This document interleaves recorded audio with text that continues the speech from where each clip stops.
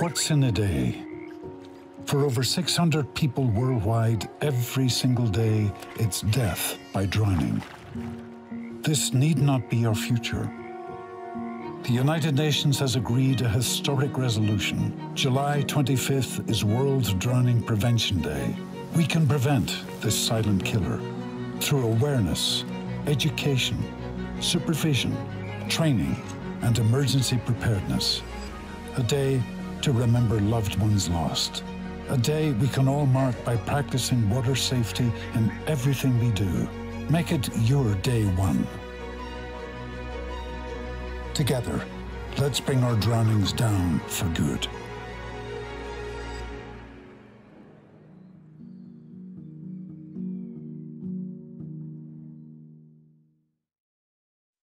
Good evening, everyone. Um, my name is Justin Scarr. Um, I have a range of roles actually. I'm, I'm, with the ILS, I'm the Drowning Prevention Commission Chair.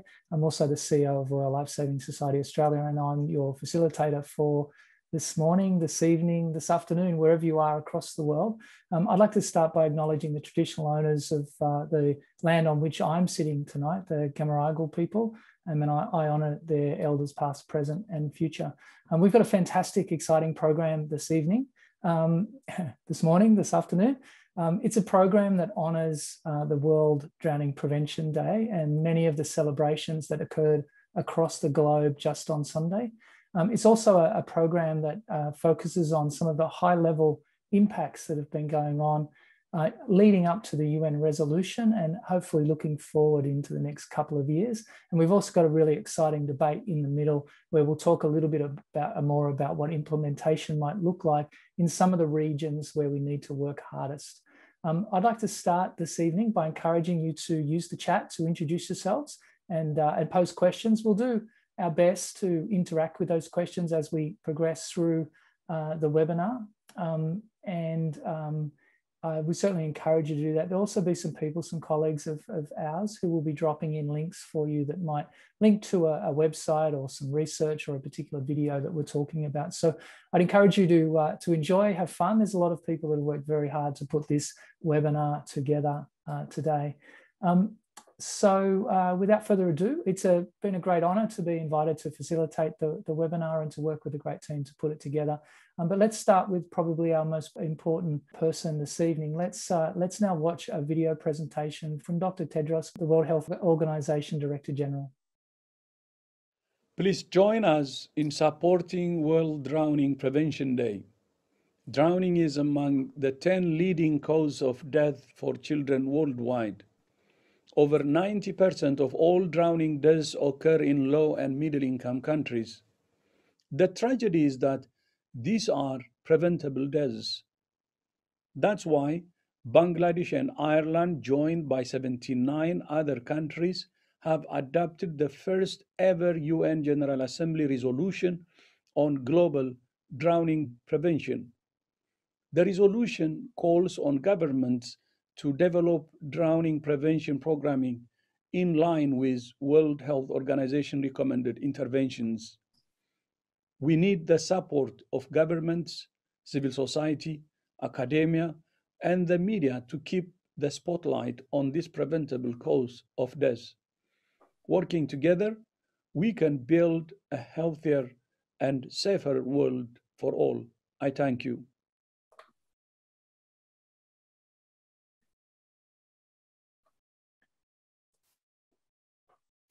Um, thank you, Dr. Tedros. Um, I'd like to invite to the panel now uh, our first uh, panelist. Um, I'd like to introduce Dr. David Meddings. Uh, Dr. David Meddings is from the World Health Organization in Geneva, where he coordinates the department's work in response to child injury prevention, burns and drowning, and also falls prevention. He also coordinates the WHO's capacity building and policy development area. So welcome, David. Thanks, Justin. Very good. So Dr. Tedros uh, did a fantastic introduction and framing of the issue this evening. It was a video that he recorded, and I believe it was shared across the globe on, on Twitter uh, and various other channels. Um, can you start by just explaining to us um, the significance of the resolution and also uh, WHO's work leading up to the resolution? Yeah, I mean, I think there, there's a lot of really positive things about this resolution, but I'll just quickly mention two aspects that I think are are really great. The first is it there's a political dimension to to this resolution, and that's that's important because it gives us a platform as a UN organization to to do certain things that we wouldn't otherwise be able to do. Uh, so that's a that's a very critical part of it. The other aspect that I think is really useful for this entire field, and I'm I'm just really very happy to see such a big turnout in the in the number of participants we have on this this webinar is this resolution gives us a, a unifying framework. So no matter whether you consider yourself first and foremost a lifesaver working in a National Life Saving Association, or if you're you know somebody who's who's been working on child health or rural development, or even if you're a disaster risk management person, this resolution gives us all a unifying framework from which we can uh, leverage the, the power and the strength of, of many um, and I think the, the, if I can call it this, the, the slogan that we picked this year, um, anyone can drown, no one should, uh, is, it's got a timeless quality to it. That's relevant no matter what, what sector you come from. Uh, and I think that's the other big, big thing that this resolution gives us, a unifying platform to, to come together around this.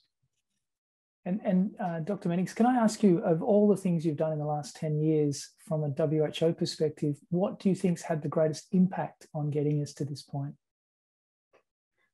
Boy, that that's really hard. I don't, I, I couldn't give you a single thing because uh, I don't believe that it ever is. I, I, I think it's, um, it's a combination of a lot of things along the way. I think if I had to, you know, look to one single thing that I think has been most useful in allowing me to move the issue in some way.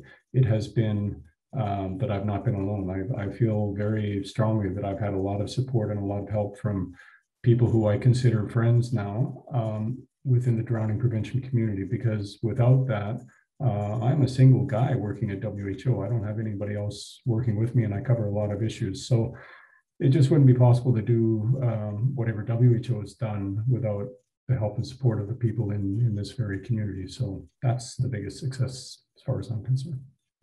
Okay, well, that's a that's a bigger picture answer and very diplomatic of you. I think there's lots of people on the um, on the webinar tonight that might reflect on the, the global report on drowning and the impact that that had for the sector. And of course, there's the implementation guide, and there's a range of resources that um, people in the field now can utilize to to advocate. So, um, congratulations on behalf of all of us for all of your work.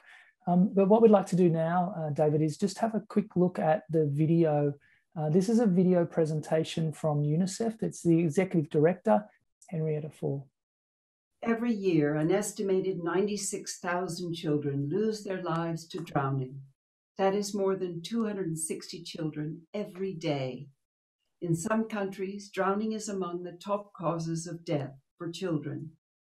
UNICEF believes that we can prevent this through early flood warnings and response, through information and education, and by supporting basic swimming skills and water safety training for every child. We are working with communities and partners around the world to deliver these life saving programs. On this World Drowning Prevention Day, let us shine a light on this important issue and let us join forces to make sure that more children and more families in every country are saved from these preventable tragedies.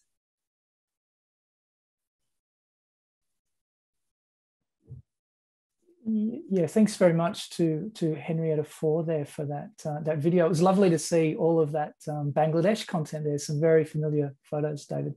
Um, David, can you just um, uh, just sort of give us a sense of the importance of UNICEF going forward? Well, yeah, I, I, mean, UNICEF has to be uh, recognized as as really the, the pioneer UN organization that uh, very much kickstarted work on drowning prevention. They they made possible some of the most uh, formative work on drowning prevention research by by funding these programs in in Bangladesh.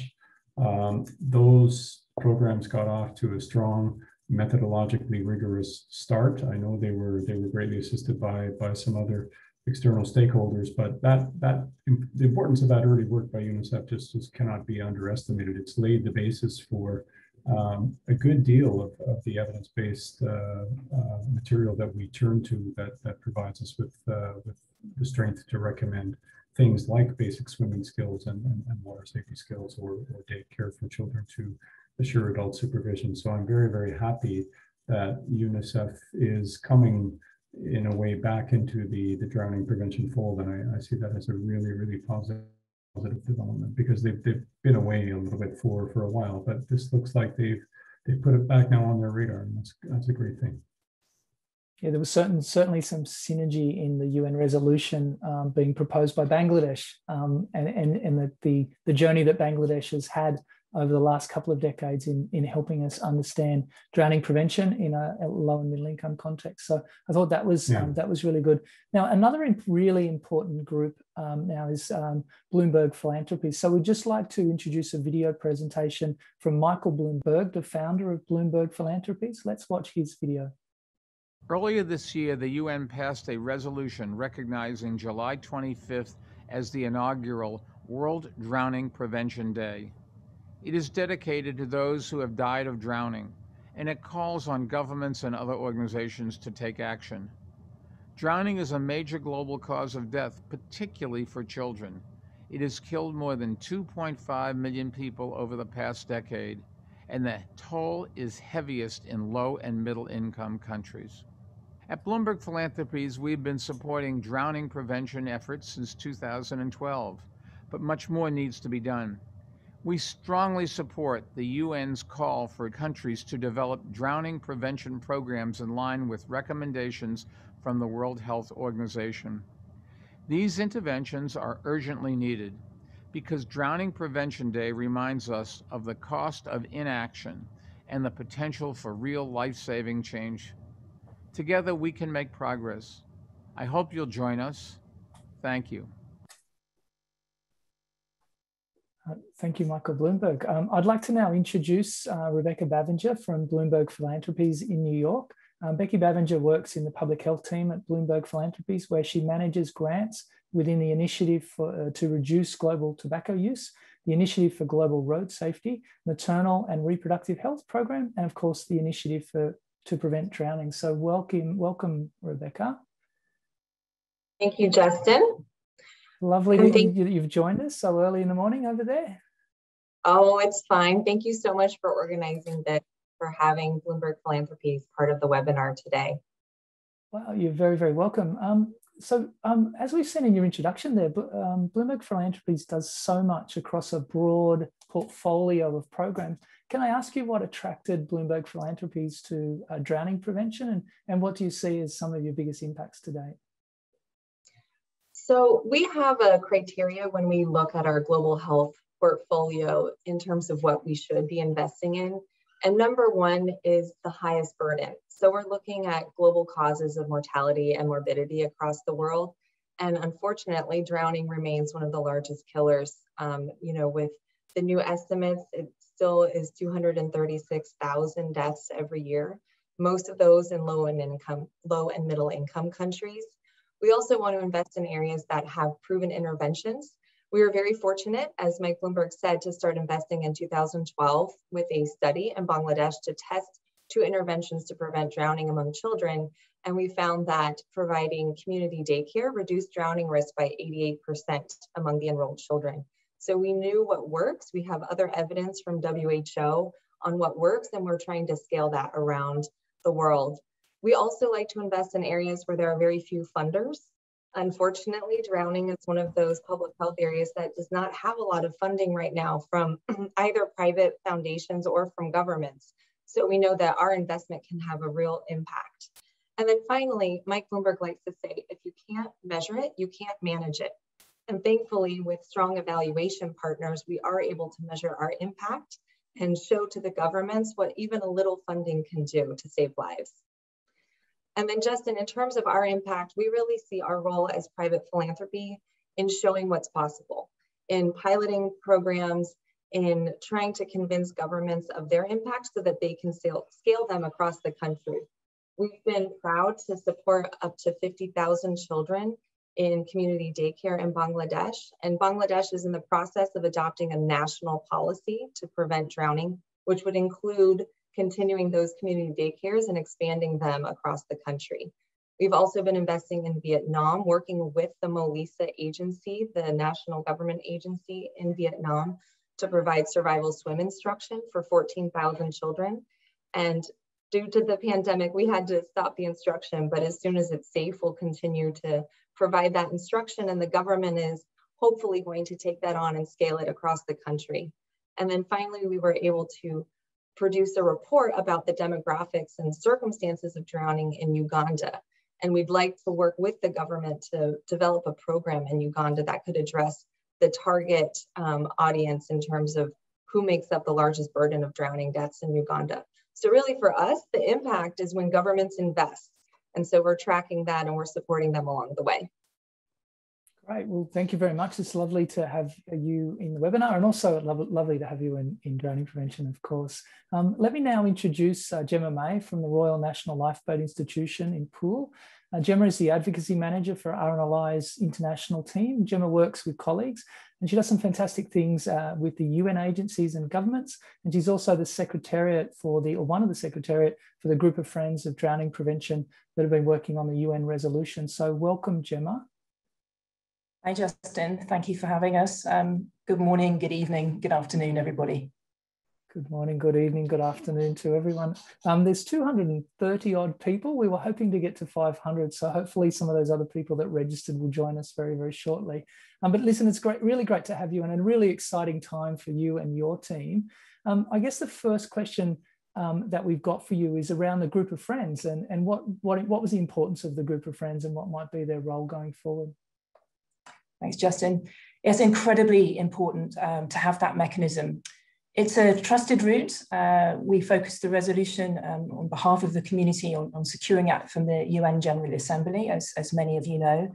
The group of friends is, is a way that co countries are represented by their missions, their ambassadors who, who work to monitor and advance progress on the sustainable development goals, on poverty, on conflict, those kind of things on behalf of their governments, coalesce around issues to create change, whether that's through um, monitoring progress on particular activities or taking action on, on new areas. And when we look back through history, um, when we've seen change on neglected issues, whether that was on HIV and AIDS, malaria, TB, uh, road safety, then uh, many of these activities have commenced through example through a res resolution and a, and a, coalition of countries who have been the voice.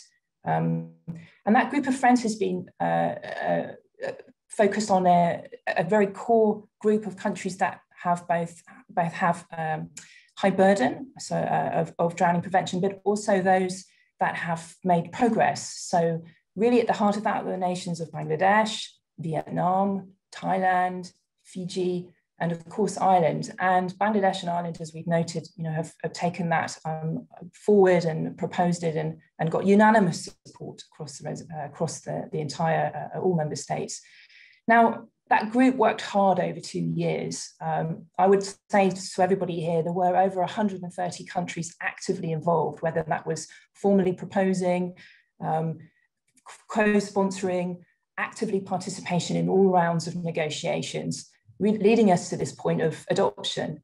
Um, and so that kind of, um, that, that, that energy, if you will, and uh, the, the confidence and support for this issue when nobody had ever thought about talking to them about it before, and the resonance with the agendas that we all share and that they have all committed to action on the SDGs, action on climate change, action on preparedness for disaster risk reduction, action on universal health coverage, seeing where drowning prevention fits that fits those agendas, which they've all signed up to, is really, really important. That group of friends um, is looking to continue it sees its work as just starting.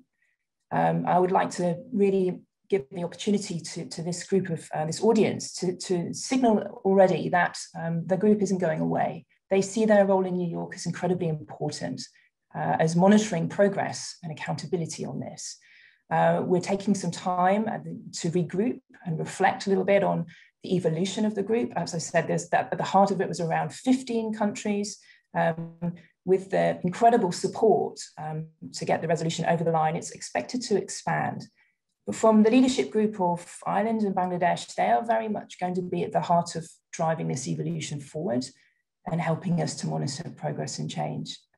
Um, and if we look at the resolution itself, uh, operative text on page three, uh, those list of items that David's called out about national plans, about um, investment uh, for activities, proven intervention, sharing lessons learned, research, they're actually an incredibly helpful checklist, an informal checklist, if you will, to serve as a benchmark um, for monitoring progress. Um, and so uh, it'll be possible to really, you know, uh, several years from now, and we can actually you know, be able to report a year from now. Um, what's the what's the change that we're starting to see? So I think to reassure uh, listeners that the group remains, they're ready to take this forward further, and um, in addition, the resolution itself acts as a really helpful baseline monitoring tool. Um, and to really, uh, I think, to really be excited and infuse and offer the audience real sort of hopeful and positive energy that uh, there really are a committed uh, group of individuals and institutions behind this. We've seen some of them already, of course, uh, WHO here hosting this and named clearly in the, in the resolution, but also UN family members, uh, UNICEF specifically. They've been at the heart of the resolution process as well. And um, the, the, the, uh, the, support that uh, Henrietta Fore offers us, the ED, about their, their contributions going forward, I think is um, incredibly helpful. Thanks, uh, thanks, Gemma. Uh, very, uh, let's let's go to David and let's see if we can um, uh, ask one question to each of the panelists to, to move us forward in terms of discussion. Um, David, what do you see as the priorities for the field uh, in terms of keeping this issue moving forward? Engaging other sectors. I think, um, you know, in a nutshell, that's it. This is, and the, the resolution is going to give us a great platform to, to do that. I think what the what the issue needs to really expand now is to engage people who will not have previously seen their their work or their job as having something to do with with drowning prevention but i'm i'm quite confident that we can we can get through to uh, people working in sectors as, as diverse as fisheries or maritime safety or or child or rural development and show them that there are synergistic benefits to what they are doing and drowning prevention and, and making them aware that without necessarily changing much about what they do, but perhaps changing a little bit about how they do it, uh, they can also contribute to, to bringing drowning uh, deaths down worldwide. So connecting with other sectors is, is for me the biggest uh, next term priority. Yeah, I had someone say to me the other day that we've just got to make friends, make make make lots mm. of friends and yeah. expand yeah. the, the family. So good, good, thank you. And how about you, Becky? What do you see as the big priorities moving forward? Thanks, Justin. Well, first, I need to say that we really owe a lot of um, gratitude to RNLI for continuing the drumbeat and to um, bring together the group of friends. Bloomberg Philanthropies was really pleased to to host a meeting back in May 2017 with RNLI support. And we see that as our role moving forward is to really continue advocating to governments to take up this issue, prioritize it, um, develop water safety strategies, national plans, and fund them. Um, and so we see that as our roles to really continue to push governments to prioritize this. And thanks to RNLI for, for uh, bringing us into the cause. Thanks, Becky. And, and how about you, Gemma? What's, uh, what's your priorities moving forward? I think there are a couple. It's in, incredible. We've made great progress um, around, around technical interventions, uh, WHO's uh, advice and guidance on, on, on, uh, on, on those areas as well. But I think there are some gaps as well uh, that we know, and some of that's very pertinent to now. I think we have to have a really strong, clear narrative around the relevance and interlinkages between drowning prevention and climate change. I mean, if ever we were going to see that, it's in the last few weeks and months, wherever you are, whether you're in Europe, whether you're in India, China, Bangladesh, um, it's really, really important. And I know that there are a number of colleagues here and elsewhere who are starting that narrative, but it's really essential. We have to show relevance and opportunity. And that in turn um, affects investment. There are a significant amount of investment in climate uh, finance. Um, and uh, I would really like to see um, really clear examples of where drowning prevention is included in uh, community resilience programs, um, as an element of, of, many things for preparedness. I think we can do it. And when we start to signal that, it will really help open people's eyes up and make the links. Also, I'd really like to call out perhaps um, the economic case for drowning prevention, both um, the opportunity cost and the opportunity lost if we don't uh, we don't take action. There has been work done on on that question um, some years ago, but I would like to say that we really need to revisit it, and again, we need to make it stronger because if we want national governments to take action, they need to understand how much it's going to cost, how how beneficial it is to make to take preventative action, um, and to know how it all works in their system, whether that's you know at the highest level, national budgets, or more locally um, as well as, of course, really looking at the detail of, of interventions. What do they cost? What are the benefits they bring? And I think if we can nail that, then uh, that will be fantastic and really, really essential to major scale up and growth. Thanks, uh, thanks, Jim. It says there's some uh, some momentum building from David's partner with sectors through Becky's really strong call action to let's focus on governments and get, get governments moving. And then Gemma, some of um, some of the entry points in terms of getting governments moving have been out really out, well outlined by you. Um, David, any final comments for you before we move on to the next section?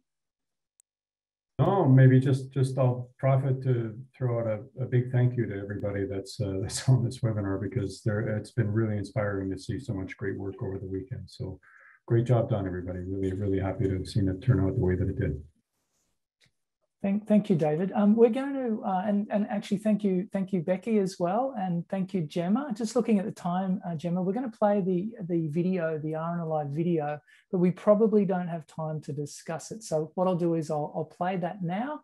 Um, sorry, I'll say goodbye to everyone and then we'll play the video and then we'll move on to that next session so that we can keep to time. So thank you very much, Gemma. Thank you, Becky, and thank you, David. Thanks, Justin. Thank you, Justin. Thank you.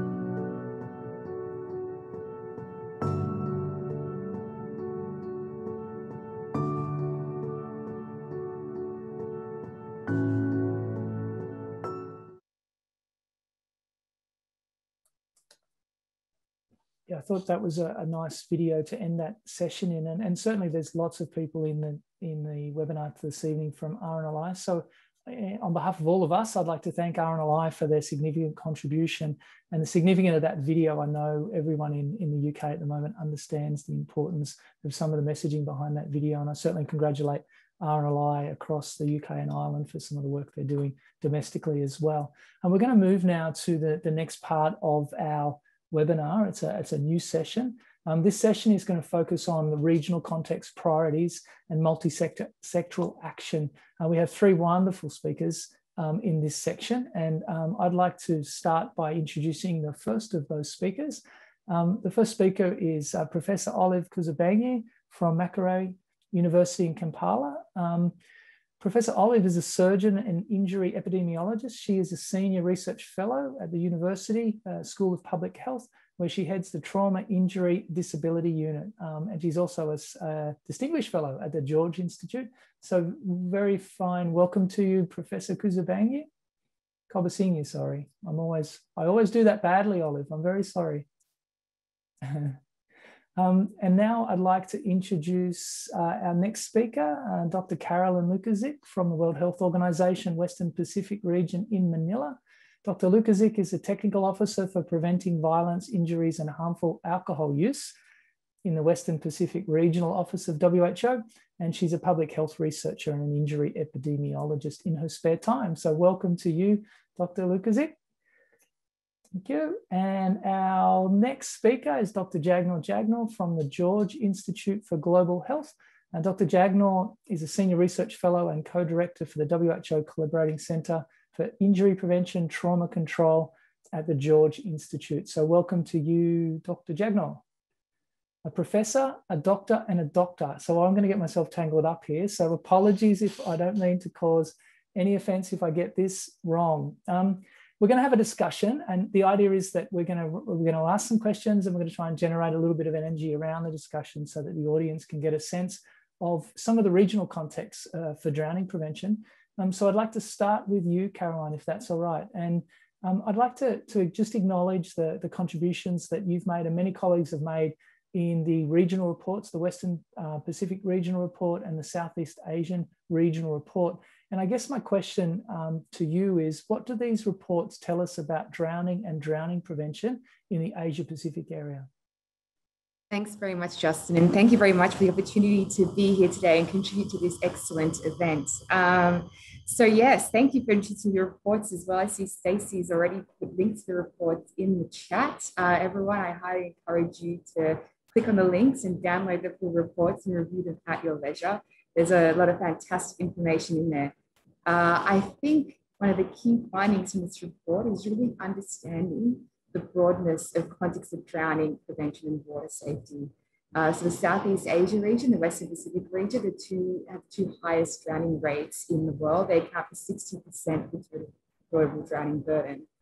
And as we started collecting data and talking to stakeholders in 30 different member states across both regions, we realized the diversity of, uh, of risk factors, of, of, different types of interventions available uh, for drowning prevention and water safety. So I think one of the key take home messages is whether it's traveling on water, living near water, working in or around water, such as fishing, floods, other natural disasters, or bathing, these are all very important risk factors that vary between member states and between regions as well. Um, and so um, I was just reading some of the data that was flashed up on the screen. So in across the Asia Pacific, um, essentially, we're talking about a, an issue that's very heavily skewed towards drowning and drowning prevention in children. Is that a true statement? In the Southeast Asian region, yes, very much so. But in the Western Pacific region, 2019 data shows that actually the highest rates of drowning occur among older people aged 65 years and above. And um, and Norm Farmer was uh, was was contacting me on the weekend. We're having a great chat on World Drowning Prevention Day. Most people would know Norm Farmer um, and, and so he was intrigued by the notion that the highest rates of drowning are in the Western Pacific region. Can you tell us a little bit about those very high rate, rates of drowning in, in this region? Absolutely. So, a bit of background to the region itself. It's an extremely large region, it's a very diverse region. So, some of the largest countries in the world and some of the smallest. We include large countries such as China, Australia, Mongolia, but also small Pacific Island countries. So of course, there's a really big variety of how and when people interact with water across the region. In Pacific Island countries, we saw there were risk factors around drowning included water transport, so small boats being used across long distances to carry families, to carry food, to carry other goods, often in sometimes quite unsafe conditions. Uh, in Mekong countries, we have so many people so close to rivers uh, to other sort of natural water bodies as well, really relying on these natural water bodies for food, for bathing, and for, uh, for drinking water. Uh, so again, the context of drowning really differs across the region. We see lots of different risk factors. But I think a lot of these factors work together to contribute to these statistics that we're seeing. Thanks very much, uh, Carolyn. I mean, it is it is amazing, isn't it? We've had uh, in a month or two, we've had a resolution, a World Drowning Prevention Day, two regional report status reports in the Western Pacific and the Southeast Asian region, and also uh, David uh, released some uh, technical guidelines for swim skills and daycare. So an amazing amount of drowning prevention work in just in the last couple of weeks and certainly in the last couple of days. So congratulations for your reports. We'll come back to you, but I guess having framed drowning and drowning prevention in your region, I'm really interested to go to Professor Kobusingye and ask her what does drowning look like? What does drowning prevention look like, in fact, in Africa?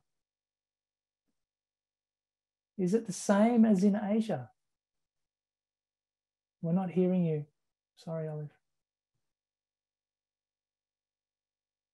Uh, Olive, we're not hearing you. You might.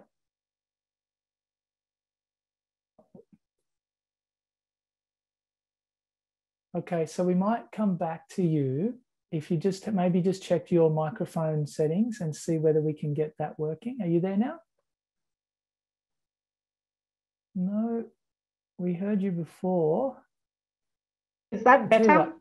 Well, that's much better. Yeah, yeah, that's great. Okay. Good to hear you. So the, the I guess the, you were responding to the question, uh, Carolyn's outlined drowning and drowning prevention in Asia Pacific. And, and so the question is, um, does drowning in Africa look like drowning in Asia? No, not at all. And in fact, when I when I first started working on drowning, a lot of the literature that I read was from Asia, and yet the patterns that we've seen uh, in Uganda, in Tanzania, in many other countries that have done studies in Africa, uh, it's markedly different. So the, the first big difference is the age, the, the, the average age of those that are drowning. Um, in, in countries around here, we tend to see older people, so in their 20s, 30s, even, um, and, and early 40s. Uh, so we have drownings in the very young children, but that's not the predominant group. Um, the context, Caroline mentioned the context, and this is really critical. Uh, in the majority of uh, drownings here, we've tended to see, especially around the lakes and rivers, uh, in the fishing communities. So the context being uh, fishing or transportation on water. So a strong occupational component. Um, and, and a number of people have mentioned the fact that uh, in the global estimates, drownings um, in the context of floods or transportation might not be included in those estimates. Here, that would leave out easily a half of the drownings, um, or you know, a large component of the of the drownings. Uh, we've also uh, tended to see, and this is really important related to making those linkages, is that in the younger children, especially, this is this is fetching water. You know, a very basic activity. Fetching domestic water is a high risk for drowning. So that those that are not in the context of fishing and transportation, the next biggest group is um, using wells, fetching water from a stream or a well. So the difference is actually quite striking, which makes it imperative that uh, for countries, to, not just here in Africa, but elsewhere, that we need local data in order to, to intervene appropriately. And, and Olive, I, so if if it if drowning looks different, um, what does drowning prevention look like? How much success are you having uh, more recently in Uganda, perhaps in responding to uh, drowning the drowning prevention problem? Sadly, I would have to say that uh, drowning prevention is still um, there's not a, a big push yet. We are, you know, doing advocacy, and a number of groups are engaged in um, survival, you know, teaching children survival swimming, uh, maybe improving um, boat, boating safety. But we really need to be running where others are walking. When we, you know, it's, it's often said that Africa has the highest rates of drowning. And, you know, now listening to the data from Southeast Asia, maybe, you know, just thinking about the sheer numbers, but I think we we need to be doing a whole lot more, and especially bringing in the various uh, sectors that are implicated. So not just thinking about um, maybe it's a transportation issue, which it is, but also it impacts fishing. It has to do with provision of water, water and sanitation. You know, which again has is an important linkage to um, um, sustainable development goal. That if we make available uh, domestic water, then we can reduce um, the rates of drowning, in that, in, especially in the very young children. So I, I think that the face of drowning prevention is still not impressive. Uh, we need to work on our data and especially to understand the circumstances, the um, uh, really the, the important things that will help us to define our prevention strategies and then work on these multiple sectors so that we can begin to have um, to have uh, drowning prevention, uh, coherent drowning prevention. Becky talks about uh, the need for country uh, strategies and plans. And again, we see very few, I think hardly any, except for South Africa, I don't think we see other countries that have plans uh, and strategies uh, on the continent for drowning prevention. Um, thank, thank you very, thank you very much. I think that's a good segue to, to Dr. Jagnoor. We start to talk about all of the sectors uh, and the engagement with sectors that we, we need to work with. Uh, multi-sectoral action was pretty prominent in the UN resolution, and I've seen it bandied around more and more across uh, my colleagues. So, so how, how, about you give us a perspective on multi-sectoral action and what it might take and what it might look like across um, a, a diverse set of contexts and regions? Yeah, thanks, for Justin, and great to be here to begin with. Hello, everyone. Um, so yeah, I'm just reflecting on Dr. Meddings, Caroline, and all his remarks, and it reminds me of one of my favorite authors and speakers, Chimamanda Adichie, who in a very different context warns us about single story issues. Not that they are untrue, but that they're incomplete. And I can see a lot of chat going on about floods and floods across Germany, Turkey, China, Cox's and so on. So clearly, we are all agreeing on the fact that um, drowning is diverse and its contexts are diverse. Uh, I think the issue then becomes how do we build consensus and embrace the diversity in the context, stakeholders, and solutions? And uh, how do we get better at telling our story in its entirety in unifying way? Uh, talking about multi-sectoral action, uh, it has definitely been a buzzword since UN resolution. And I think endgame for all of us is seeing real reductions in drowning deaths and drowning burden, whether it's Western Pacific, Africa, or Asia. And uh, we might not have set our targets yet, but to achieve that impact, we need to bring together art of political science and science of public health. And that's where I start talking about multisectoral action. Embed layers of intra and intrasectorality to multisectorality, and you have a real wicked problem on hand. Wicked not because of the degree of difficulty, but that it needs us to get out of entrenched silo thinking. And silo thinking is purposefully systemic. Um, so an acknowledgement that there is a lot beyond our control as drowning prevention enthusiasts. Uh, it would be good to have some examples buzzing in the chat room as well. I think Thailand has done some fantastic work on multi-sectoral actions and other issues. I'm sure our um, various stakeholders have achieved similar success within their own communities and on their own issues. Maybe Becky can comment how it's worked across tobacco and maternal and child health. Um, so yeah, let's keep discussing on that. It is a wicked problem. Um, well, well said. It is a wicked problem. Um, Carolyn, can you just respond to Jagnoor's comments? Um, talking about silos and finding a home for drowning prevention versus working cross-sectoral. Um, your experience, I mean, you've, we've gone to what, 40 governments in, in the region over the last 18 months. What's your sense of where drowning is sitting? And is it, is it homogenous? Is it sitting in the same place in each country? Yeah, thanks, Justin. It's an excellent question. Uh, and I'm sure you can anticipate the answer. It's definitely not homogenous. It definitely sit in the same place in every country. So I think a very interesting uh, finding from the reports is that each country really approaches drowning prevention in a very different way.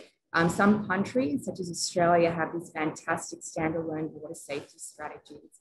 These strategies are inherently multi-sectoral. There's different roles and responsibilities for different partners and agencies and sectors. And the, the, these strategies really try and demonstrate how everyone should come together to, to address this one issue.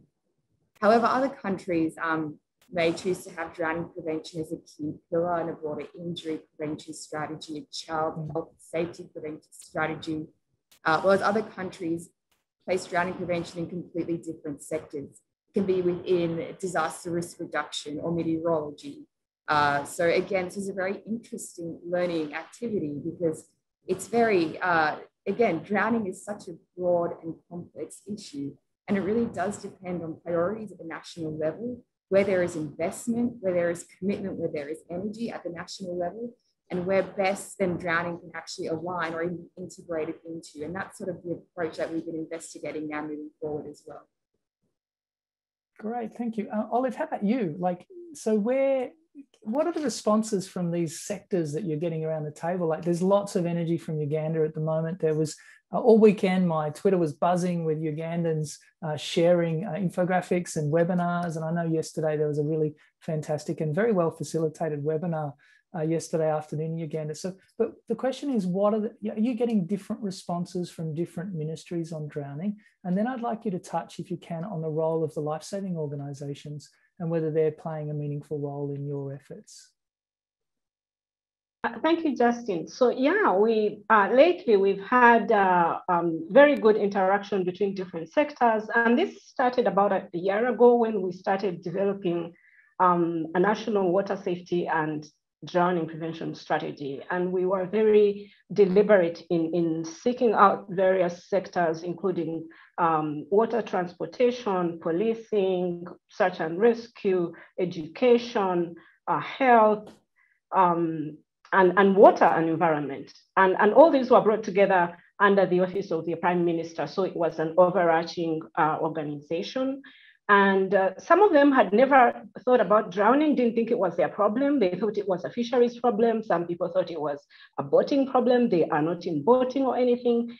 And, and it took a while for people to begin to see that it's not any one sector's issue, that it's an issue that has to involve all of these sectors. So we've had different kinds of responses with, you know, some of them taking it up enthusiastically and, and wanting to really engage with it, and others being somewhat reticent and, and, and not quite engaging as much as we'd like to. But I, I think we've come a long way.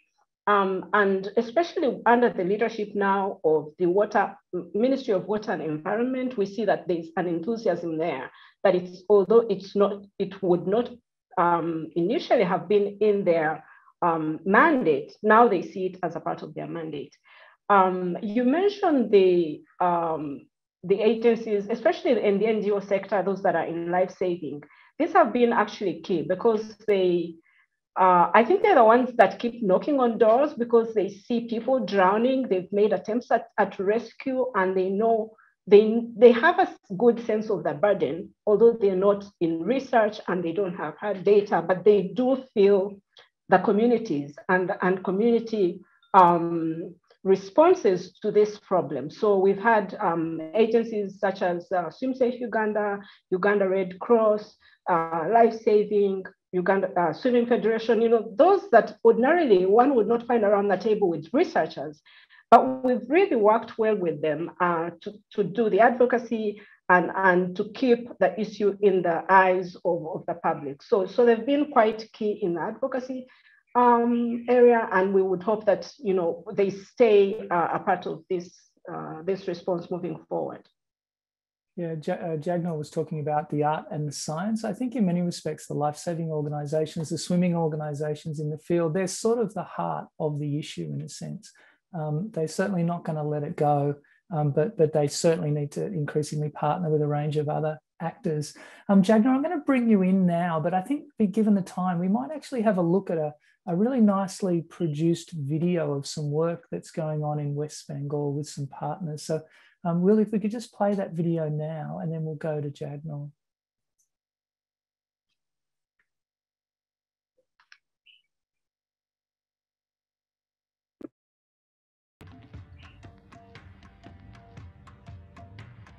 যাচ্ছে।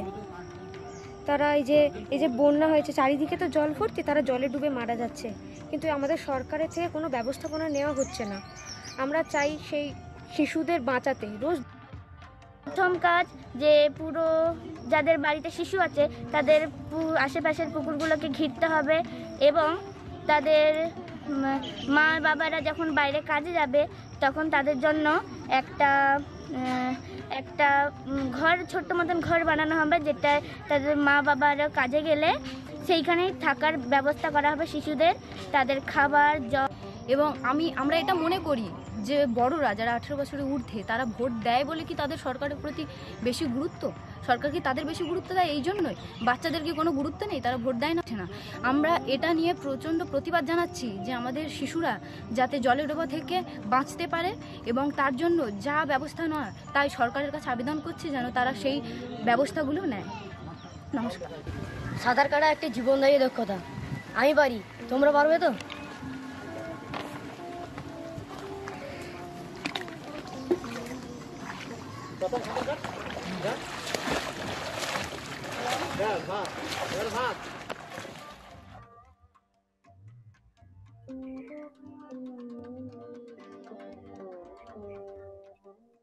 I, uh, I think you always win the internet with children, right? I think that video was very nicely produced. But if you kind of contemplate um, the video and the message of the children, um, the question for, for you, Jagnoor, is um, in, in drowning prevention, um, uh, Dr. Carolyn and Dr. Olive have been talking about stakeholders and policymakers, and Becky was talking about government. I guess the question is who matters most in this, and is it actually people in the field? Yes, absolutely. Communities and the children who, who are at the brunt of it. So out of 600, if you truly acknowledge that at least 230 children per day are dying due to drowning, so they are at the heart of it. But before I respond to your question, I would like to give full credit um, to the community and Sini for bringing these young costumes together. I, I'm sure Sini is somewhere there on the webinar, so I just wanted to acknowledge that um, and also giving a bit of background who these kids are. So you can see them wearing masks and what a resilient community to have been through COVID, uh, not being in school for last 18 months, and they do not have the luxury and the privilege of internet or homeschooling. Um, and recently been through floods as well. Um, so if the audience does not know, this is the eastern state of West Bengal and specifically the Sundarbans area. It is the land of uh, Nobel laureate Rabindranath Tagore and was home to Mother Teresa. I saw Caroline smile when we were playing the video, so I'm sure she's having a bit of, a bit of nostalgia. And I think Becky has been there as well, so she might be thinking about it too. Um, and uh, and it is all of that, but these are also the communities with the highest reported child drowning deaths these are three times higher than those in Bangladesh. And I think the data also highlights the need for local data. So if you're talking about the entire India, India is many countries in one country, and you can say it contributes 19 to 20% of global drowning deaths. Um, but what it is really, so it can be river drowning, it can be flood drowning, it can be coastal drowning, but as we see over here, it is very much child drowning, and the context is very similar to Bangladesh. Here, I would also like to really thank RNLI for giving us the opportunity to do some of the formative work and get um, this going. Now, knowing these numbers, how do you not act? And I think what uh, Caroline and Becky and Gemma and everyone else has been kind of hinting towards is co-designing, co-designing implementation strategies with the communities, acknowledging that these interventions would probably look different in everywhere we work in, and it's simply because their contexts are different. And also thinking about co-benefits. So Olive was mentioning about having safe access to water, so piped water. And when we talk about co-benefits, it's, it's thinking about the upstream and the midstream factors. And one of the interesting things, for example, when we think about wash, uh, piped water and sanitation is also violence prevention. And it's a big issue in India with respect to gender violence prevention. Um, I think there was a fair bit of chat about uh, how do we get governments involved.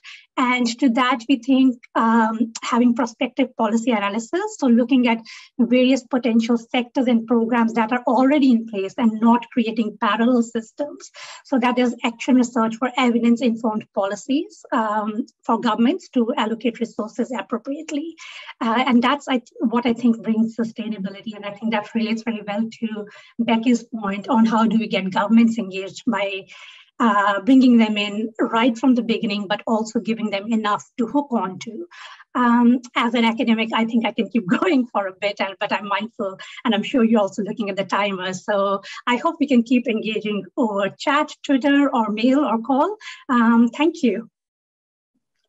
I think thanks very much, Jagnoor. Um, Carolyn, you've you've obviously spent a time a bit of time in the region, but um, I guess that just in terms of wrapping this session up, I just want to ask you what what do you think the most important things that we need to do as a cohesive sector in the next um, coming years to, to be successful and maximize the opportunity of the UN resolution? Yeah, thanks, Justin. And I think this sort of touches on what Jagnoor has just discussed, but it's really uh, always really eye-opening through the work that we've just completed was the amount of fantastic innovative drowning prevention interventions already happening in community settings across both regions, uh, led by different sectors, by different partners, by different stakeholders. But if you take this national consultation process and sit down with various, uh, with various individuals working passionate about this issue, you really start to unearth and uncover some fantastic interventions and strategies. So I think a very important thing moving forward is to document and share these and try and realize their transferability and their upscale because a lot is being done.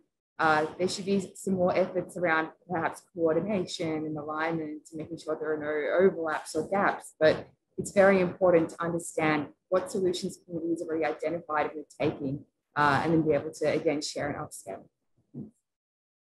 Okay, I think that's a pitch for more regional status reports. I think uh, I see them. I see them in your future, John Passmore, and a few others, perhaps. Um, uh, Professor Olive, and you, what do you think the, the sorts of things we really must do in the next couple of years to maximize this opportunity? Uh, thank you, Justin. So yeah, so while we don't have the luxury of doing just one thing at a time, and we need to do a number of things all at once, strategies and, and building multi-sectoral collaborations. And I think we need to really, in Africa, work on our data. We need to understand the magnitude. We also need to especially understand the risk factors so that we can both intervene appropriately, but also be able to to track progress and see if we are making, you know, if we are saving more lives, if we uh, have, you know, so even if we have process indicators and we don't necessarily wait to see whether less fewer people are drowning, we do need to set targets. And we cannot set targets unless we have data. And a lot of countries don't have any data, don't know how many people are drowning, where they are drowning, why they're drowning. These are really basic to our understanding of drowning prevention. So I think we need to, while working on strategies, on multi we do need to work on our data. We need to improve our understanding of both the magnitude and the risk factors, the circumstances around drowning in the region. Thanks, uh, thanks, Professor Olive. And Jagnoor, just some final words from you. Oh, wow, lucky me. I do get some final words. Thanks, Justin. Um, uh, well, final words from me. I, I was thinking about that we have talked about sectors and governments. A call for action for everyone within the audience would be perhaps um, a starting point. Um, look around you, look around in your stratosphere and think who the person from another discipline, uh, another sector might be, who would you like to invite for uh, celebrating uh, World Drowning Prevention Day 2022.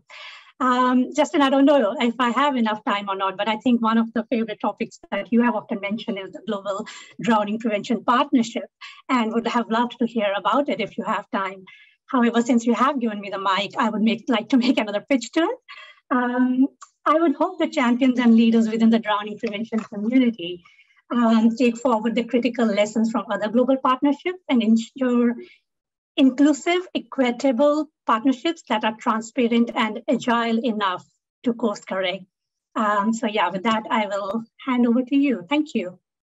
Thank you very much, Jagnoor. Good pitch, but we don't have time to get into the global partnership. But thank you very much for the opportunity. You're trying to reverse the interview process. I know exactly what you're doing. Um, I'm going to cop out of that and we'll talk separately on that, I think. Um, but the time is up for this session. I Look, it's been a wonderful opportunity to talk to the three of you. So I'd like to, to thank um, Professor Olive. Thank you very much for your valuable time and joining us, Olive. A pleasure. Thank you. Thank you. And thanks, Dr. Carolyn. Thank you very much. Keep doing good, great things in the region. Thanks so much, Justin. Thanks. And thanks, Dr. Jagnoor. We'll talk very, very soon.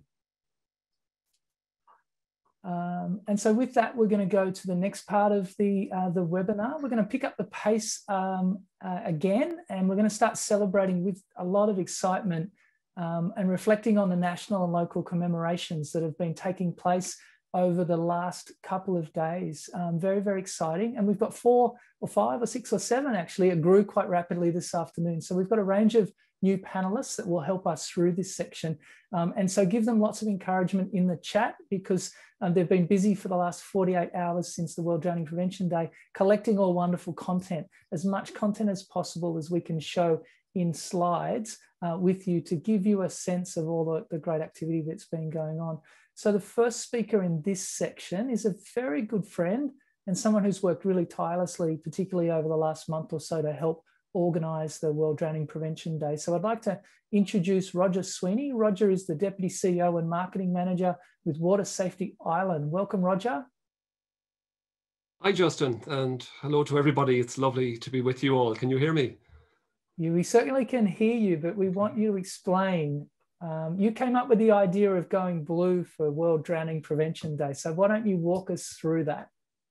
The, the, the initiative, Justin, actually originated through two channels. Uh, firstly, in conversation with our friends at the RNLI who came up with the idea of reaching out to their own contacts to uh, light up in blue. And so we worked together to bring on board the heritage sites, the government buildings and the landmarks in the UK and in Ireland. And secondly, literally in the days leading up to World Drowning Prevention Day, I just thought it would be a nice to, way to engage not just the landmarks in Ireland, but, but people as well, to ask the lifeguards to face paint a blue line on their cheeks, or as one child called it, a cheeky blue smile, and something that would visually engage people online and at our lifeguarded waterways. And then it was just a matter of asking the public uh, to do the same. And in, in Ireland, you often hear parents saying to a child, I'm blue in the face, telling you to be careful. Now they were literally going blue, but with uh, good reason and having fun uh, doing so. And, and, and going blue took off. Uh, it was embraced across the entire island of Ireland and in Scotland and the UK. And in Ireland, in, in addition to the blue buildings and the public and lifeguard face painting, uh, frontline emergency services were doing it too, uh, such as the Coast Guard and RNLI, the Fire Service, the National Ambulance Service, the Irish Police Force called the Garda Síochána, local authorities and others. It, it really was a multi-agency engagement and it saw blue buildings and blue smiles uh, ac across many services, Justin. So uh, people seem to appreciate, I think, the, the opportunity to make water safety part of their personal uh, conversation. It wasn't a safety message that they had to listen to. Uh, this was a message that they could create and, and spread online in an, in an engaging way. And also talk about water safety in person with loved ones um, as they passed a blue building or posted a water safety message with, with a photo. And that's what we wanted uh, for people to make water safety part of the conversation they are having with loved ones and sharing messages uh, that can prevent drowning. And uh, on the subject of drowning, uh, sadly, the, the, the, the, day itself actually coincided with a spate of summer drownings across the island of Ireland and in the UK. So as the day unfolded, we saw all agencies as busy with uh, broadcast media as they were on social media. And what really came across was the commonality of our messaging, uh, the shared ownership of our safety messages was really obvious. And in terms of that shared messaging, uh, certainly in the UK, there has been an emerging commonality across the agencies to respect the water, for example. And in Ireland, we also have common messaging such as together, let's bring drownings down, or know what you're getting into, or better safe than sorry, that we add to water safety messaging throughout the year to target specific at-risk groups. And also in Ireland, as, as the day loomed very quickly, I might, I might might add, uh, we built videos and shareable water safety content onto a dedicated website and onto social media channels, which included the support of a number of government ministers or Taoiseach or Prime Minister, um, and indeed the President of Ireland, uh, which gave our day-to-day -day messaging and our strategic priorities, accessibility, if you like, uh, with other stakeholders uh, well after the day itself. Um, and in the UK, the National Water Safety Forum and Water Safety Scotland did a, a, great job ensuring that their website had a dedicated page for the day, drawing on WHO material uh, to make common assets available to all members. So in securing, I suppose, this resolution and the build up to World Drowning Prevention Day, it's starting to create more space there for strategic collaboration and conversations across government departments where gaps are identified. And, and as important as it is, uh, to have cross-departmental and joint agency collaborations. There are families with personal stories that have as important a story to tell. And there's power for change in those uh, personal stories, especially when they're delivered by the family to decision makers at the highest level. And this occurred during World Drowning Prevention Day. I think immediately of Becky uh, Ramsey in the UK, who lost her 13 year old boy and is championing uh, doing it for Dylan. And in Ireland, of Amanda Cambridge, who lost her three year old boy Avery and has been an ambassador for Water Safety Ireland's new preschool resources uh, called Hold Hands, uh, launched by two government ministers only last month. And of course, remembering loved ones is the intention of World Drowning Prevention Day, one of them. And, and it can be a day that gives strength and courage to families like Becky uh, and Amanda, wishing to share their stories and talk about what can be done uh, to avoid similar tragedies. And it's their stories and their commitment that are having influence for example, in the UK through the power of petitions and advocating parliamentarians and other sectors, really turning tragedy into positive action. We certainly saw it with Amanda in Ireland through the Hold Hands campaign. Um, and uh, people can see our uh, preschool resources on www.holdhands.ie.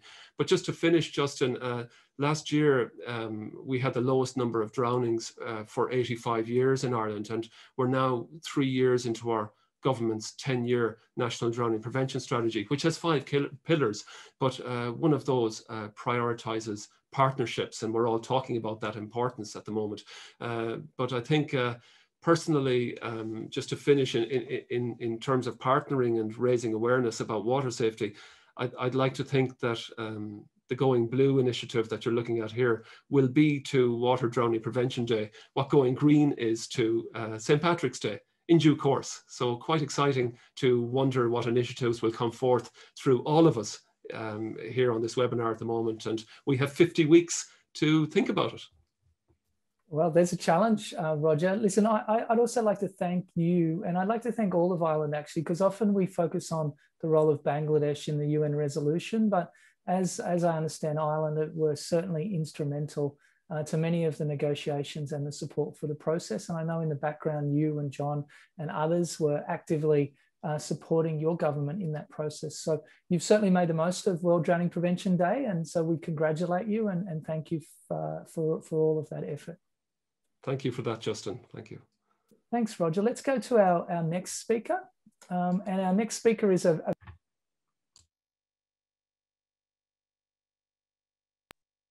Our next speaker is a very dear friend and, and colleague of all of us, Dr. Ana Catarina Queiroga. Uh, Ana is, sorry, Catarina is um, at the University of Porto. She's also the co-founder of uh, the International Drowning Research Alliance, and she's a member of the ILS Drowning Prevention Commission. Uh, so welcome, Catarina. Hi, everyone. Dr. Catarina we, woke you, we woke you up this morning in a fright about your slides, and so I do apologise. Um, and and we're really interested. I've asked you to have a look at um, at Portugal and Europe, and then then look a little bit closely at Africa as well. Can you take us through some of the ways that colleagues and friends in those areas have been celebrating World Drowning Prevention Day? Yeah, it's my pleasure. Thanks, Justin and Tim, for assisting in, in pulling up this presentation with an overview of the, the several key activities that took place in Europe and, and Africa. And despite the current restrictions uh, in place across the regions uh, due to COVID-19 pandemic, pandemic and, and the recent devastating flooding that happened in Europe, the regions woke up uh, on Sunday highly motivated and excited to celebrate the World Drowning Prevention Day.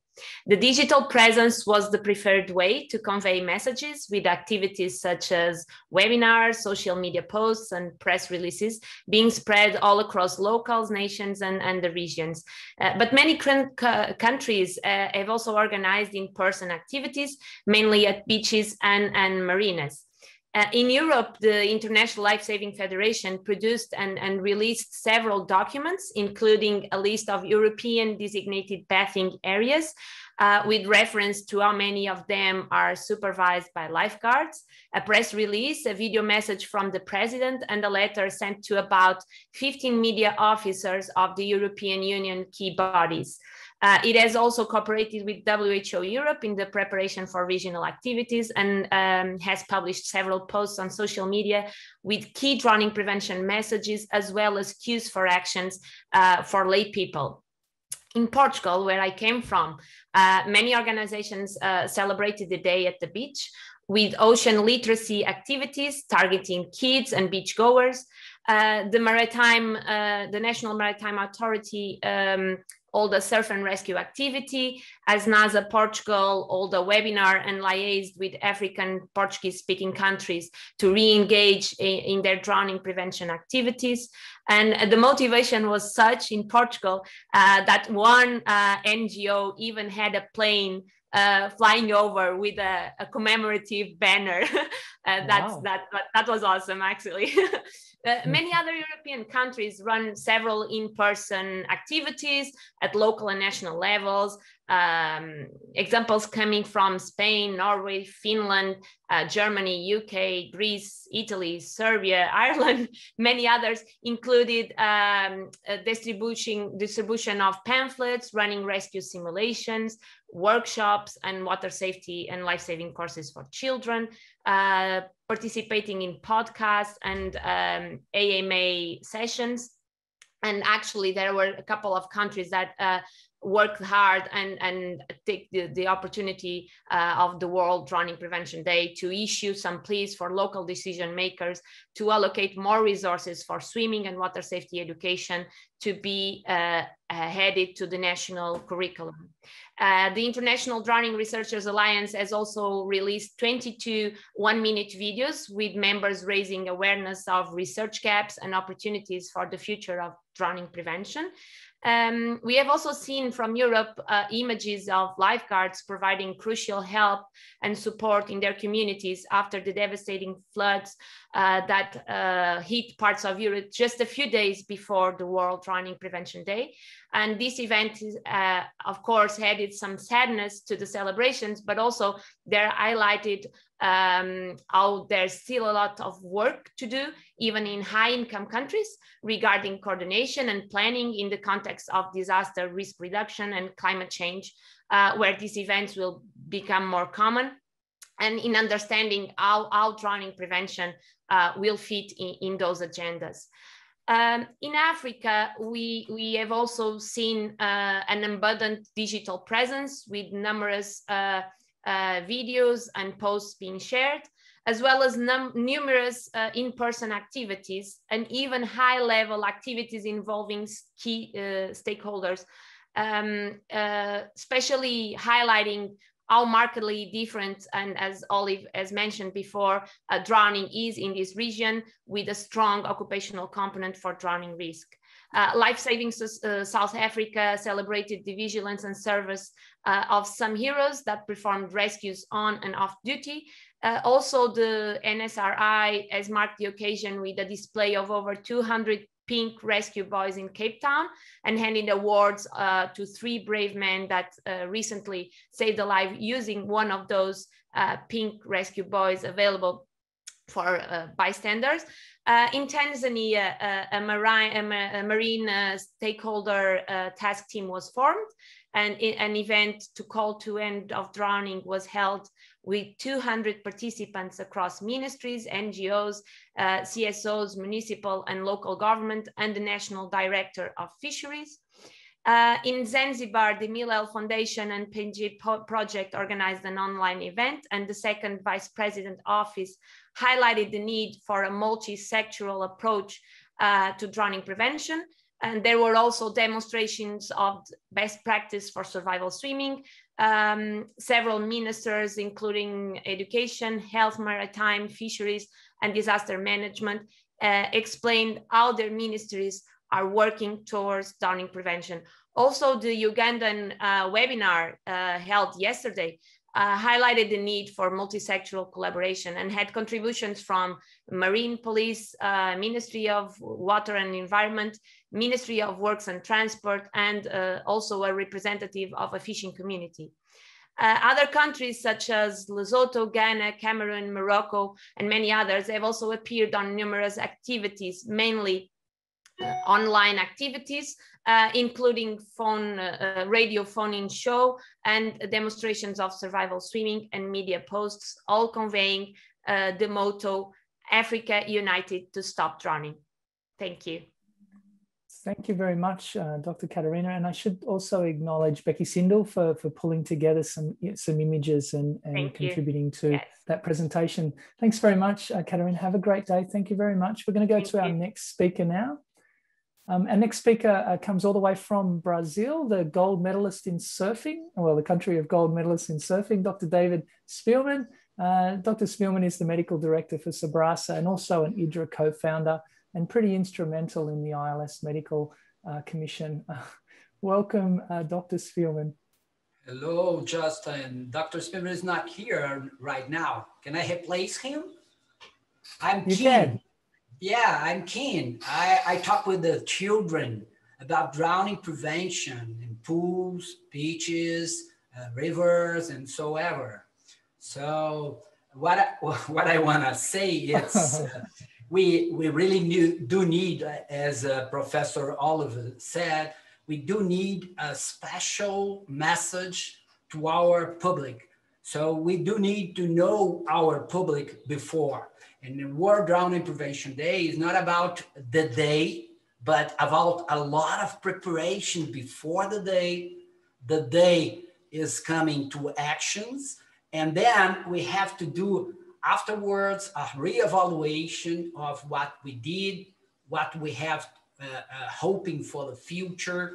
And the main, the main uh, message is re to reduce drowning. But to do that, we need uh, as a plan, as a strategic plan, to gather all the Latin Americans. So South, uh, South America, Central America, and Mexico, and get all together to like as a, we speak Portuguese and Spanish. It's easier to to to spread the message. So what we did exactly was to prepare those those uh, tools, those tools for to use on the on 25 day, on the World Drowning Prevention Day.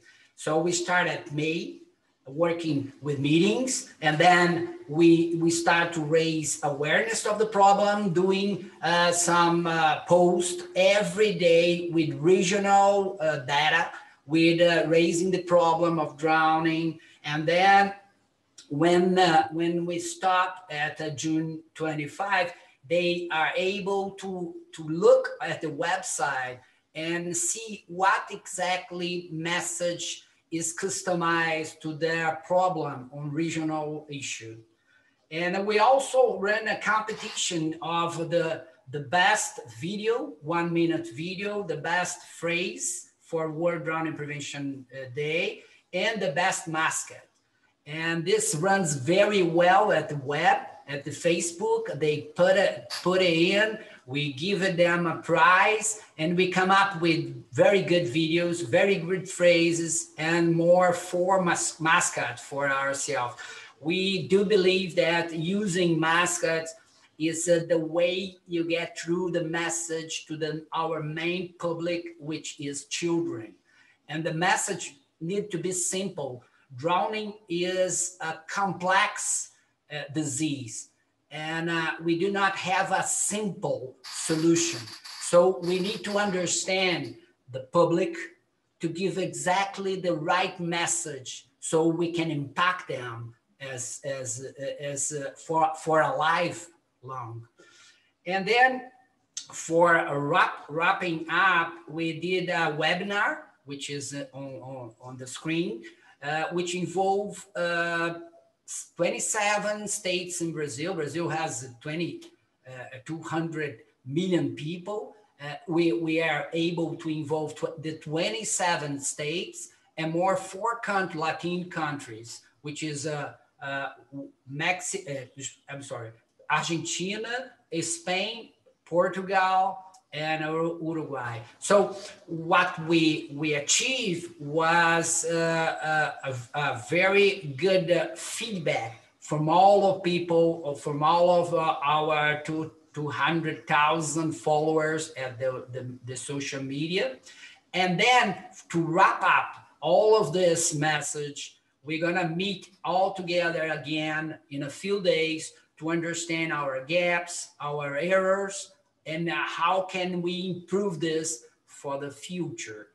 And uh, also we get by this night we are we are able to do a 40 minutes program on drowning prevention on cnn so this will spread a lot of the message of world drowning prevention day. Thank you justin Thanks very much, Dr. Szpilman. Um, I did say have fun, no crabs, and you've surprised me with a mask. So I think we've been all entertained I, by that. And I'm sorry, but I think the message is very simple. We need to yeah. deliver a ludic message to the, the our public, which is children. Yeah, it was very well done. Thank you very much, David. Um, Have a good day. Let's move to our next speaker. Uh, next speaker is uh, Dr. Amy Peden. Amy is a lecturer and researcher in University of New South Wales, Sydney, and also uh, an honorary senior research fellow with the Royal Lifesaving Society Australia. Welcome, Amy. Hi. And you're going to take us through some activities a little bit closer to my home and, and a few others. So away you go. Yeah, absolutely. Thank you so much for the opportunity. And uh, I apologize. There was so much activity on social media. I absolutely could not keep up, even though I was glued to Twitter. So this is a uh, a selection, I guess. Um, we saw some great video content. Um, on the screen now are some examples from Royal Lifesaving um, and Surf Lifesaving in Australia. Uh, really reflecting, I guess, Royal Lifesaving on uh, everyday actions that people can take to reduce drowning risk, um, and Surf Lifesaving really looking at the risk factors and, and preventative actions that Surf Lifesaving undertake and encouraging everyone to be safe at the beach. So uh, encourage people to check those out and keep sharing them. They're still on Twitter as well. We might go to the next slide if we can. Um, we also saw some really uh, great posts on social media as well. Here are some more tweets. Um, great to see organizations jumping on the Olympics uh, and getting some athletes to speak to the issue. Um, it's a good timing this year. It might not happen every four years, but it's good to try and uh, link in with the Olympics. And we saw some um, WHO regional offices as well sharing content, uh, including safety tips. And a couple of organizations also did a countdown in the lead up. So that was pretty fabulous as well. Um, there's also quite powerful uh, advocacy going on through the written word. We saw some, uh, this piece now on the screen, looking at the, the links between drowning and climate, as a few of us have started to discuss. Um, we really, I guess, need to harness those links better. And, and when we talk about multi-sectoral action, that's a really important part. We've also had some pretty powerful uh, pieces in The Lancet, which are going up there on the screen now, and I encourage you all to check those out. Um, and we've also had some other advocacy pieces from around the world. Um, Professor Richard Franklin and I talked about the full burden of drowning, the importance that data reflects that, and that's been a key theme that we've been discussing. Uh, we've seen great pieces from uh, Professor Mike Tipton, looking at the physiology of drowning, Aminur Rahman from Bangladesh, um, and also some other journalists taking up the challenge, including a piece from Nepal. And I think we're going to hear a little bit more about that later. Um, we've also seen some really great um, video assets, and now we're going to turn to focus to the Middle East. This is from the Kuwait Fire Service, um, and I noticed that uh, Dawn Whitaker is, is on the call. She's put a message in the chat about working towards uh, gaining traction and uh, you know better collaboration with fire services around the world before 2022. So I'd encourage you to scroll up in the chat and find her email, and uh, we can all work better to engage that sector more in drowning prevention in the future. We've also seen some really great, uh, next slide please. We've also seen some really cool presentations on uh, um, social media assets, I guess, about uh, rescue techniques as well from the Middle East. So some tweets there and, and also some demonstrations. We've seen uh, there's rescue tubes and uh, throw lines as well, which are coming up now. Um, and these examples are from Iran. So yeah, definitely not an exhaustive list. There's a lot going on. Um, there's been some webinars as well. David mentioned one. We ran one as well. Um, there's a great one coming up with the George Institute uh, tomorrow night, Australian time. So less, slightly less than 24 hours from now um, with Medhavi Gupta looking at their work in India. So I'd encourage people to, to have a look and register for that as well. Um, but thanks for the opportunity, Justin.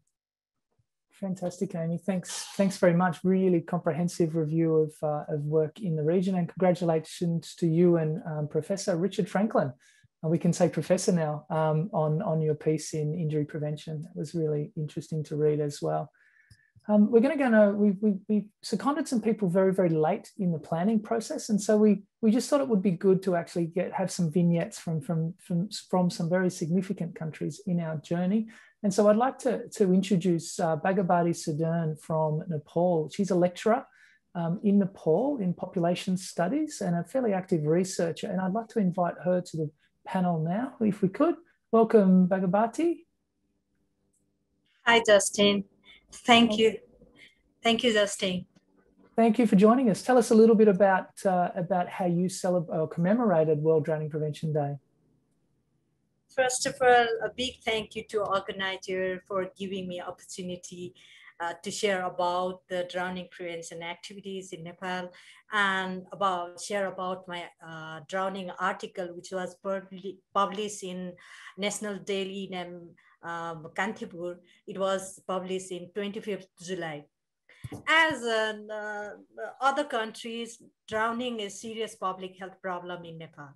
A recent uh, regional status report showed that uh, uh around 1600, 1600 people died from drowning each year, um, which is uh, relatively high for such a small population.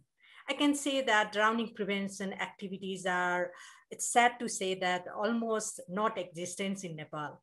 UN regulations and drowning prevention activities very relevant for us to bring the issue of drowning to the government, government and related agency and the commun communities.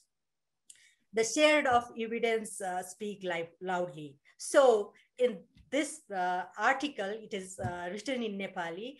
I've tried to provide possible evidences of drowning in Nepal and also highlighted how where we are lacking for drowning prevention and how the world combating for drowning prevention and what we can do uh, to prevent drowning in Nepal. Further, in my article, I expressed that we can, even we are not uh, uh, doing some drowning, drowning prevention activities. So I express in my article that we can start drowning prevention through generating evidence uh, through um, uh, the different research activities. So on this day, I want to share one thing is that um, my article is published. Uh, this uh, uh, the article there was two article two, two issue in one paper, one page, and it was published along with the ex uh, vice chairman of our National Planning Commission.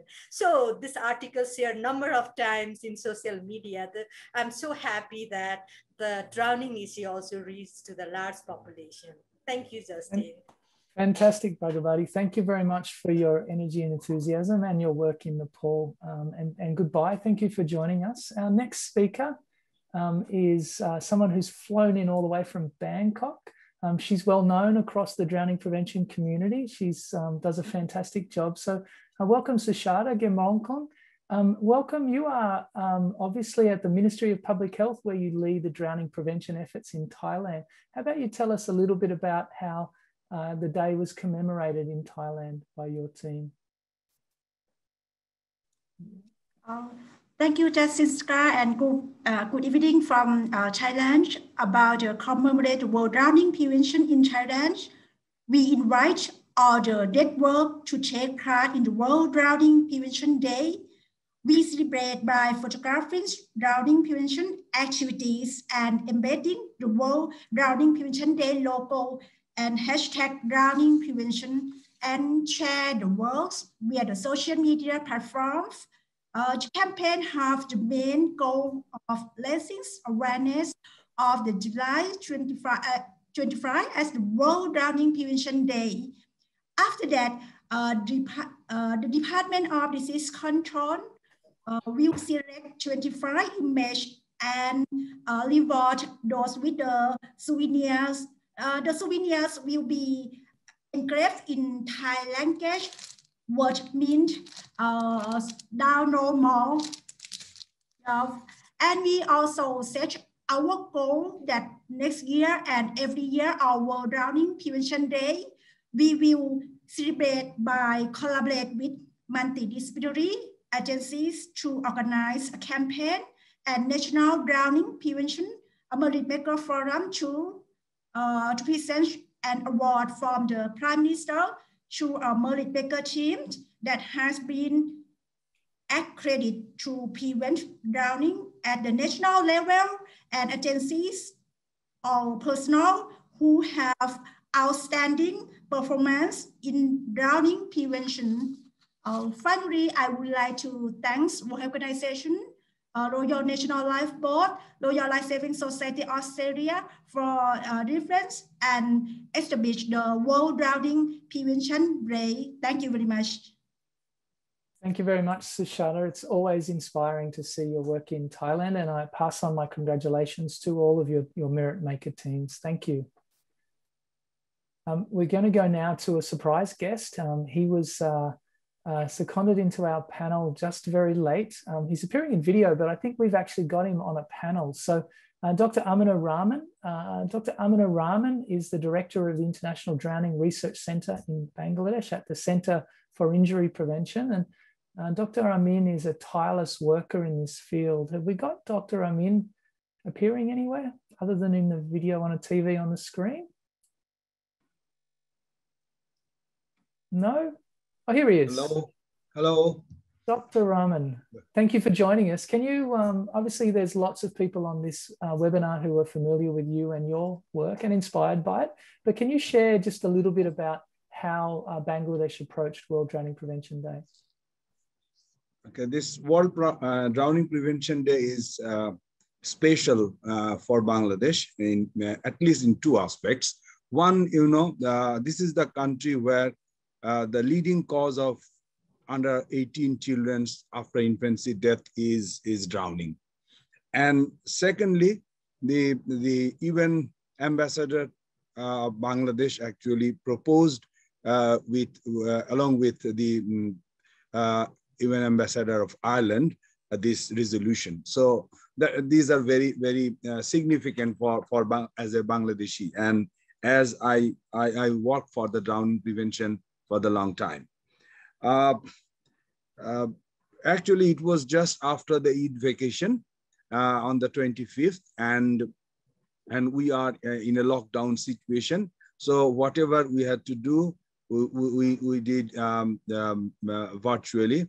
Um, on the 25th, um, a lot of articles and reports actually published uh, in uh, daily newspapers.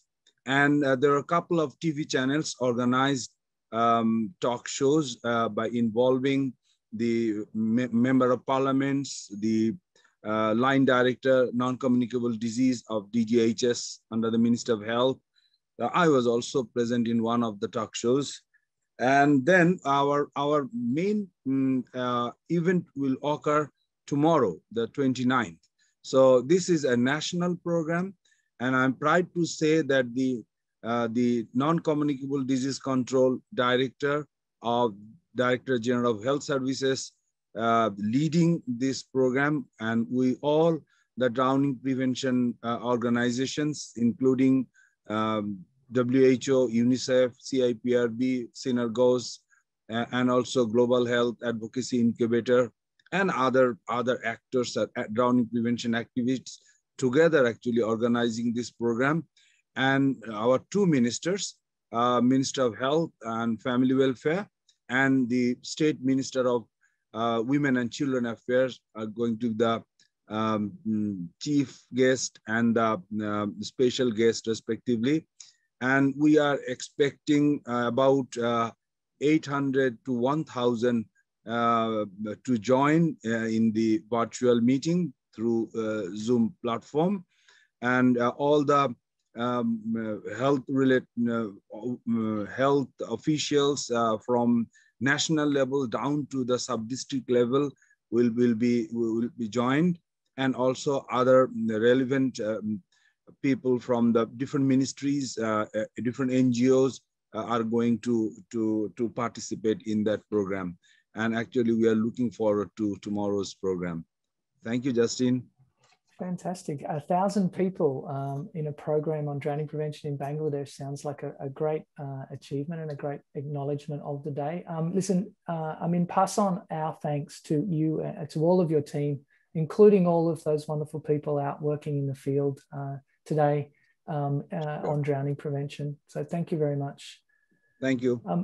Thank you. That brings us to the conclusion of uh, the webinar. We're pretty much almost on time. Um, there's a few people that I would like to acknowledge. Um, I would certainly like to acknowledge the planning uh, committee that helped uh, with the webinar. That planning committee included uh, Dr. David Meddings, it included Gemma May, uh, Kate Earley, uh, Roger Sweeney, who provide some guidance. And so I'd like to thank them for their contributions to the program and the program design for this webinar. Um, I'd also like to thank the people who have been working really hard behind the scenes to help this make make sorry to help make this happen technically.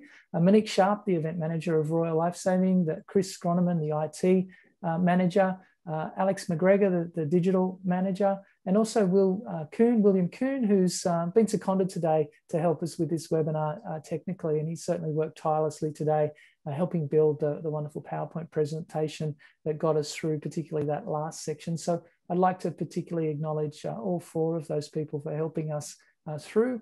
And I'd like to thank you. There were about 450 people registered. I think at our peak, we might have had 250 people participating. I do hope that you've enjoyed um, this acknowledgement of the um, the World Drowning Prevention Day and also the UN resolution. I know some of you are probably a little bit disappointed that you weren't also invited to speak. Um, there were some ambitious ideas very early on to do a 24 hour webinar on World Drowning Prevention Day. And I kind of think we could fill 24 hours of wonderful drowning prevention content.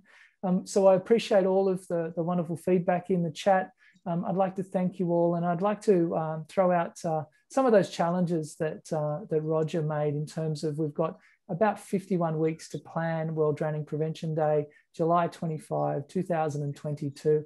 And I'd certainly encourage you to, to make the most of it locally, make the most of it nationally, and collaborate globally. And together we can make this really significant. So I wish you all the best and thank you very much.